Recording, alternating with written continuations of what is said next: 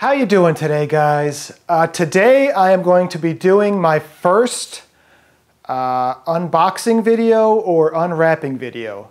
Uh, I was working on my Bobcat about a month ago and I was trying to get to a bolt that was in a really awkward spot and I couldn't get my wrench in. So uh, after fighting with the thing for like 10 or 15 minutes, I went online to see if there was a better solution and uh, I ended up purchasing uh, the Gear Wrench 120 XP. Can you see that?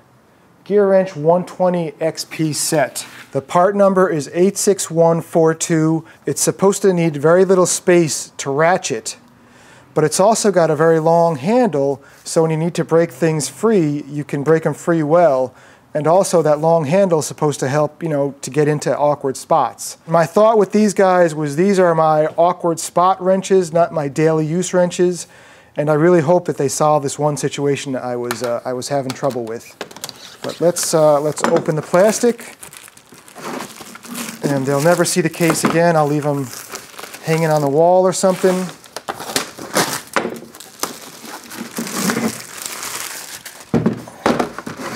But uh, there is your, there is your set of 10 wrenches right there for you. I just want to show you, that's the three quarter and this is a, this is a long wrench. This is my three quarter wrench I got uh, probably, uh, I'd have to say late 80s, early 90s. I got like a 400 piece Craftsman set, which this, this wrench set has done very well for me. And then these are the these aren't gear wrenches. This is Craftsman, but it's the same idea wrench. Uh, and that's a three quarter. And this three-quarter wrench is literally, from end to end, a touch over 18 inches long. There's a one-quarter of the XP size, and then there's my one quarter for my old Craftsman set. Before we go outside and, and try to uh, fix something with these wrenches, I just want to go through the, uh, the reason you would buy an XP. And, and again, this is, uh, this is the wrench right in front of my face, but uh, this wrench is literally 18 inches long. So what you've got is you've got a long wrench, which is going to give you good torque for breaking things free. You can dip it in, uh, you know, if you have something that's hard to reach. And then on this side, it's got the flex head, which is something I've never had a set of wrenches with a flex head. Uh, hopefully I'm going to like it. But that was where I, I wanted these guys um, with the flex head because where I'm working, I need to tighten something like this, and, and the regular wrench wasn't working out. Now the other advantage that these guys have is they have very fine teeth. But the idea here is, is uh, you don't need much space, which if you're, if you're really far into the engine bay and you're trying to tighten something, you're not going to have a lot of space. These guys on the ratcheting end, there's no adjuster, there's no flick. You don't flick anything here to change the way, you just have to turn the wrench over. So if you were, if you were, let's see, that would be loose, that would be tighten. So you just have to flip the wrench if you want to tighten or loosen. You don't move a, you know, a little lever like in a ratchet. Now I kind of like that. It's the keep it simple philosophy. And I will admit I'm, I'm pretty darn sure that every time I use these wrenches, I'll have to take a moment and figure out which way to go. Um, but I just want to point out that this does not have the, the selector, and I, I think they do make some uh, where you can get that selector.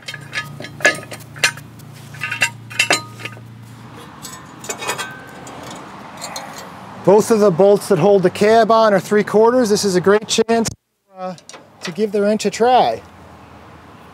That's tighten.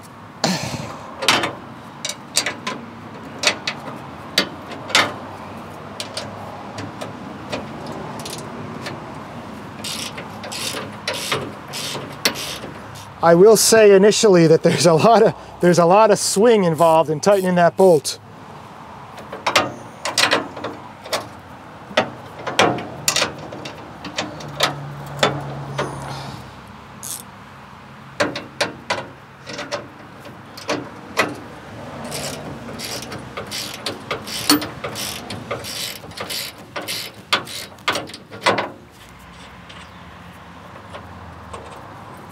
As the arms go up, watch this orange thing right here. As the cylinder comes back, it's going to drop down and lock the cylinder up so I don't have to worry about this thing falling on me.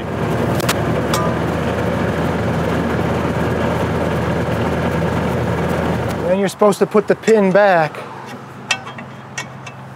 to make sure that doesn't come off. Then we can just lift the cab up.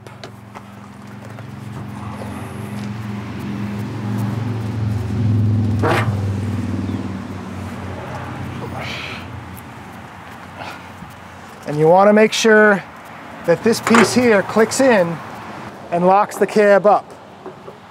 This one's going to be a little bit tricky to show you, but this is the reason I got the, uh, the XL wrenches. So we're in the Bobcat, we're underneath the cab, and there is a bolt. I'll go slowly down. There is a bolt right there. I got the wrench under there and I put some torque on it, but I couldn't get quite as much as I wanted. And that is a three quarter inch bolt. It's going it's going under and up through, and I'm not gonna take it off because it was a bear to get on. But all you're gonna probably see is me just stretching under there. But if I can get this, uh, this XL wrench in there and just give that another half a turn or so, uh, I'm gonna be a happy camper because that means it's not gonna come off again down the road.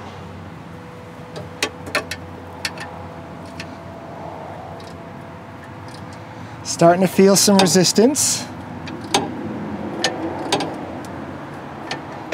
There we go. Okay, we're tightening. And I'm feeling resistance.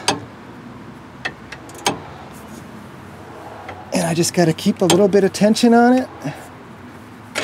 So we're going to move it up. See if we can get it on there. It's definitely on. If I just keep pulling up and push, it should tighten. Yeah, it's kind of slipping off now. Maybe it's as tight as it wants to go with uh, with the length of this ratchet, I mean, I'm sure I'm putting some pretty good torque. We'll just give this one more go, and then after that, we'll just say, you know what?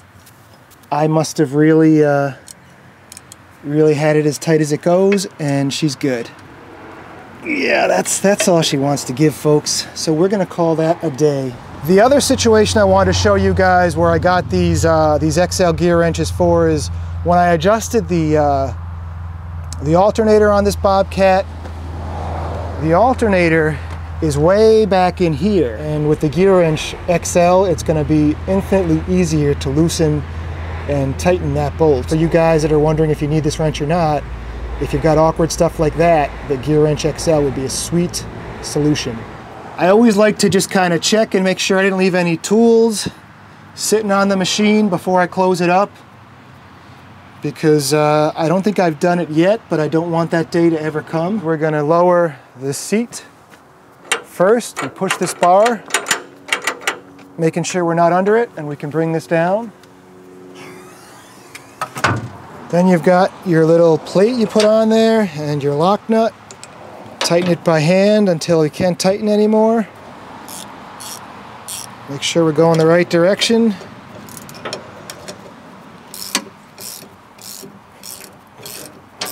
Snug, but not ridiculous.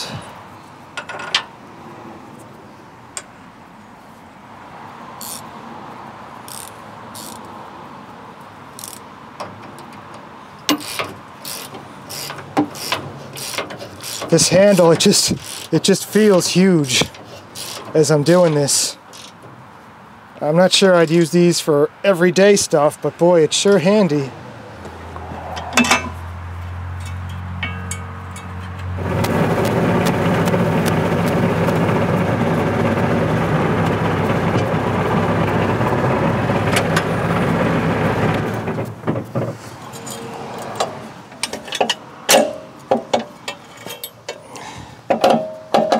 So that was our initial uh, little test with our uh, 120 XP uh, ratchet. And my imp initial impressions are, you know, I, I love the tool. For what I was trying to do, it was absolutely the right tool to have. I think that these guys are going to get you out of some tough situations. But the size and, and the weight of this thing, uh, you're not going to use this as your daily, your daily use wrench. This is going to be just for special situations. But, uh, you know, if you're cursing, if your wife came out of the house because you were cursing so much that she told you to knock it off because the kids are home and you want to get something that's going to get the job done, uh, this, is, this is the way to go. Now, I will say this is the first time I've ever had a flex head ratchet. And the first set I got, I got a set, this was a pretty reasonable set. I got this one at Sears for under 60 bucks. Same idea, shorter. But I think a flex head, if, if you're gonna buy gear wrenches, uh, I think a flex head is definitely the way to go. I guess times have changed. I don't know, my original Craftsman tools had this kind of, it looks like it's sandblasted and now everybody's doing polished. Uh, polished is fancy, but sandblasted would be easier to hold on to, right? Gear wrench 120 XP. Good wrench, Great for tough spots, not for daily use. Thanks for watching, folks. We'll see you soon. Take care. It just seems like it's a total game changer. I wonder if that would make a difference if I use a different angle. So now I got a little bit different angle. I don't like that angle. I think it was better straight.